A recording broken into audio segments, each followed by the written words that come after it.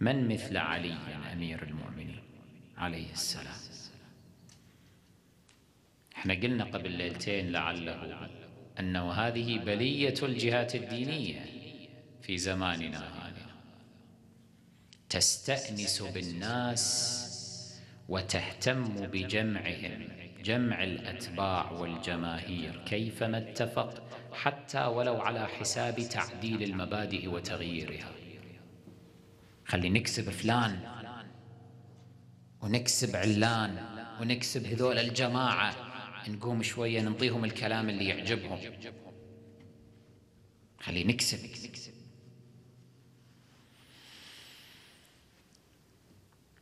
لماذا؟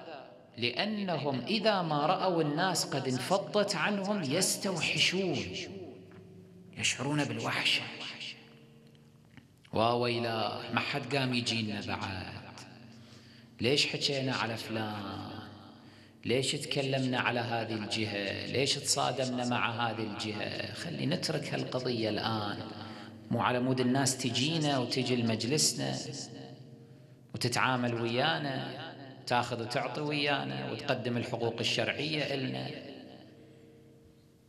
ليس هذا منهج علي بن أبي طالب. شوف كلمة إمامك علي.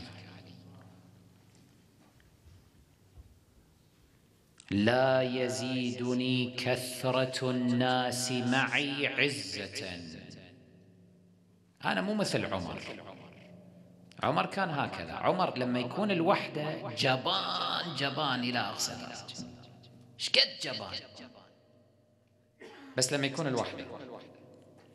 أما وسط يكون وسط جماعة من الأوباش جايب له 300 واحد مسلح من الطلقاء وبقايا الأحزاب من قبيلة بني أسلم وأشباههم محوطين دار الزهراء عليه السلام متفرع صاير بطل ذلك الوقت. احرقوا دارها بمن فيها.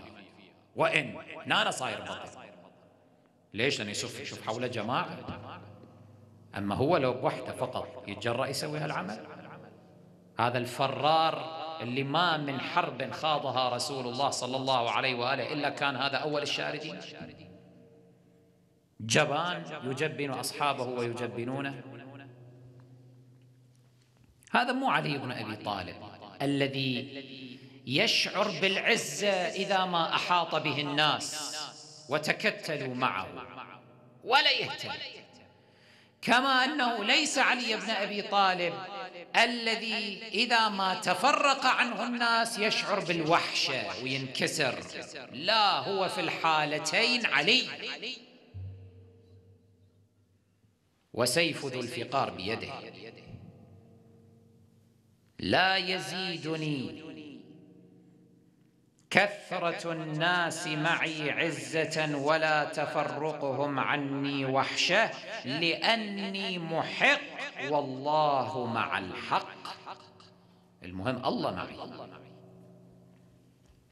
ووالله يقسم أبو الحسن ما أكره الموت على الحق. وما الخير كله بعد الموت إلا لمن كان محقا.